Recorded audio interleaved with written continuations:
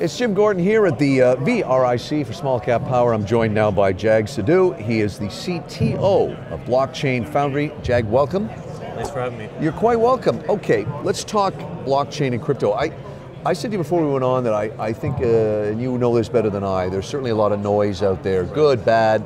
People I think are curious, uh, possibly intimidated, you know. Let's start, can you start by just walking through what you guys do in a general overview of, of Blockchain Foundry?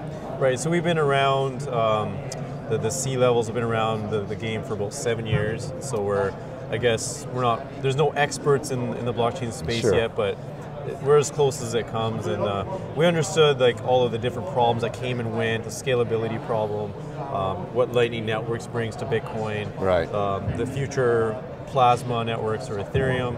So we really wanted to um, start a company and, and bring that to the people and, and, and bring these technologies to bring utility to the actual companies and not, oh, here, here's, here's an ICO, just go make some money, go put it under your name and, and come Yeah, back. Um, we really wanted to bring utility to people, and because of that, um, we have our own blockchain as well. And so we develop, likely develop a lot of the stuff in house, although we're agnostic in that we can still develop on Ethereum and Bitcoin. Um, but a lot of the problems we're finding is very niche um, solution designs that we had to do it on our, on our blockchain. Right. Um, and, and Ethereum itself has, has scaling issues. So a lot of the issues that those blockchains have, we look to solve on our own. And can you, uh, here we are at this conference, can you talk about what you guys, uh, your tie into what we're doing here at this uh, Resource and Investment Conference? The reason we came here was uh, uh, there's a company called Load.one, which is doing a cryptographic money, monetary system on silver.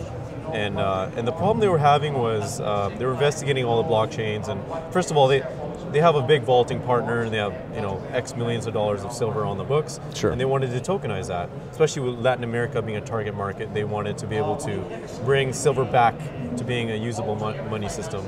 Um, and the problem they were having was uh, obviously if they use Ethereum, they, they get the smart contract capability, but it's a little bit slow and it's a little bit costly. Right. CryptoKitties is the example of uh, a lot of things happening on Ethereum drives the costs up, drives businesses out. Okay. So uh, one of the major features they wanted to have was you have a token and you wanted to be able to use it in point of sale. Right. And there's really no blockchains that could solve that today, and, and we set out to solving that problem. I was going to say, is that something you see? That's in the, yeah. That's, that's one of the things. One of the trends we're finding was of last year was scalability and speed.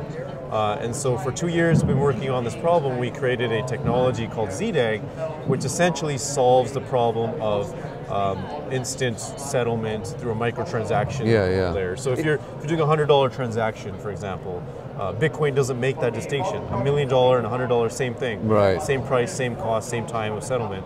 Whereas we make a probabilistic trade-off saying if you're doing a hundred dollar transaction, sure you're, you have 99.99% chance of it succeeding within 10 seconds. We've got 11 months left in this year. Looking forward uh, and, uh, to this uh, 2019. Um, some of the things that you wanted to touch on, um, uh, you know, the fallout of stable coins, what that means, where, where we go from there. Let's start with that one. So ICO market was pre- is pretty much dead. Um, 2018 saw the fall of ICO markets.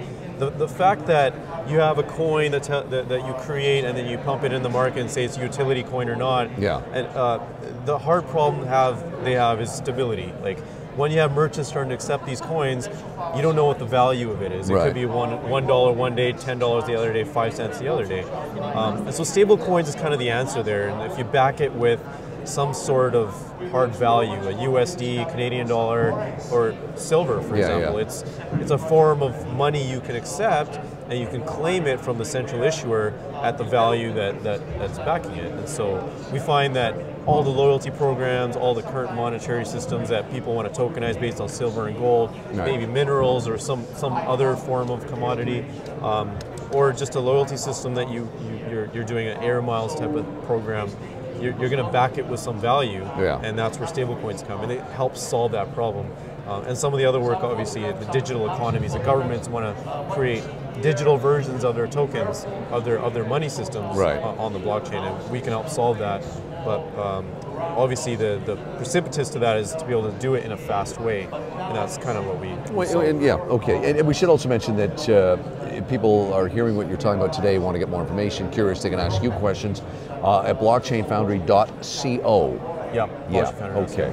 Uh, we've been talking to uh, Jag Sidhu. He is the CTO of Blockchain Foundry. And again, blockchainfoundry.co. Uh, he's been joining us here today about a very exciting world that uh, is moving along, I would imagine, very quickly. So Yeah. thank you for your time and your expertise. Cheers.